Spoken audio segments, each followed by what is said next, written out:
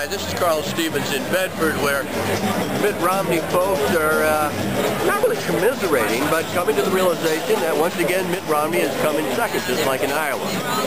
But they think eventually he'll win this thing. What are your thoughts, young man? He didn't win it tonight, but he came in second. What do you think? Well, he's still my guy. Great guy. He'll make a great president, so I'm going to support him, you know, through this um, election tonight and into Michigan and on. So. It's been quite an experience for us, I'll tell you. We thought we knew New Hampshire, but now we really know New Hampshire. With, uh, with almost 250 events that we've done across this state, we have learned why it is that New Hampshire is the first primary in the nation. There is a reason for it. The people of this great state really get to know the candidates, ask them questions, learn about their heart and their character.